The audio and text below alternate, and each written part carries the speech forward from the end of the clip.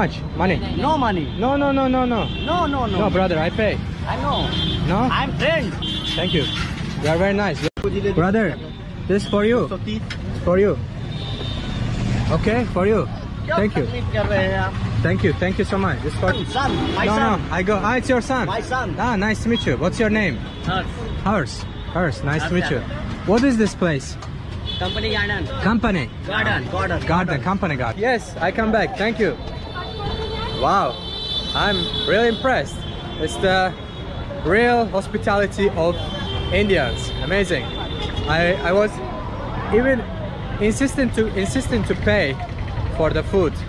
Uh, I think it was like 10 20 rupees. But it's amazing uh, how he invited me and he ins- insisted as well not to not to pay for it.